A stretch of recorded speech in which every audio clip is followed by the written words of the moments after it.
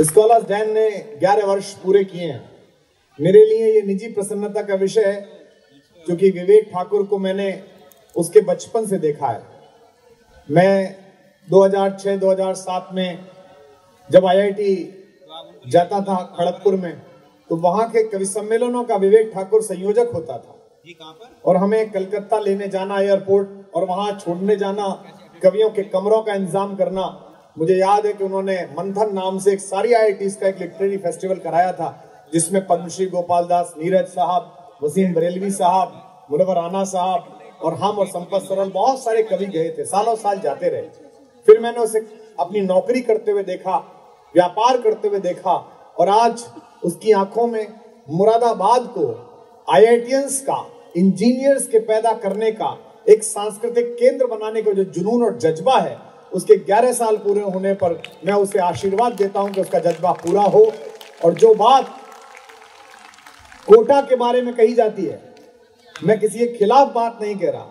लेकिन मैं ये चाहता हूँ कि मुरादाबाद शिक्षा का उससे बेहतर गढ़ बने इस सूचना के साथ कि यहाँ आईआईटीएन चाहे हो सकता है एक परसेंट कम पैदा हो, लेकिन उस ख्वाब के पीछे दौड़कर अपनी ज़िंदगी कोई ना खत्म करे।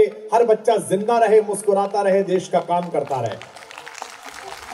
यहाँ बैठे हुए जवान बच्चों, कोई भी तुमसे कहे कि आईआईटी ज़रूर ही निकालनी है, पूरी मेहनत करो स्कॉलर्स डैम जान लगा दो इंजीनियर बनना ही है, लेकिन कोई तुमसे ये कहे कि इंजीनियर बनना ही ज़िंदगी का आखिरी हासिल है तो उसको मना कर देना। क्योंकि एक असफल इंजीनियर तुम्हारे सामने खड़ा हुआ है।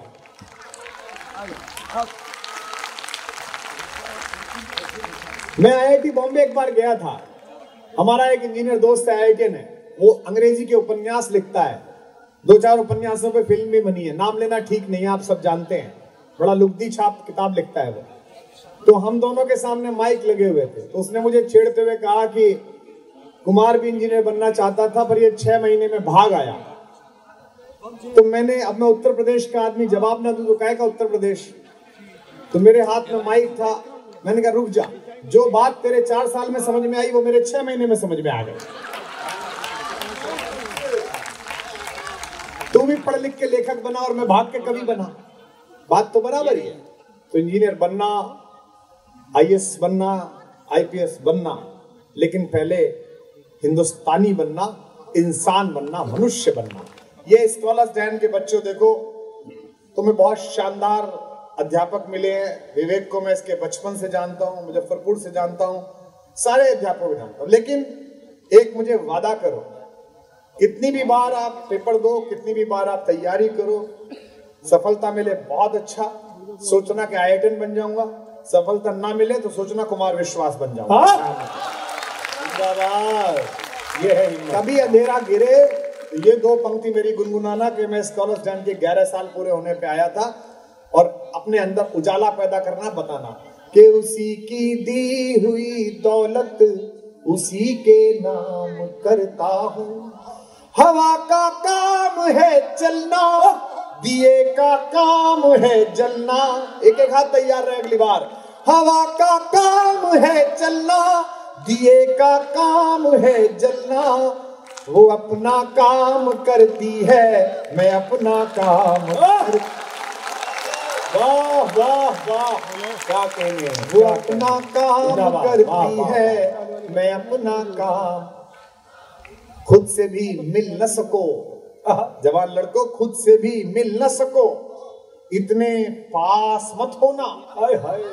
कोई चेहरा हो कोई शहर हो कोई परीक्षा हो कोई इंसान हो उसे इतना महत्वपूर्ण मत बनाना कि ज़िंदगी महत्वपूर्ण लगनी बंद हो जाए।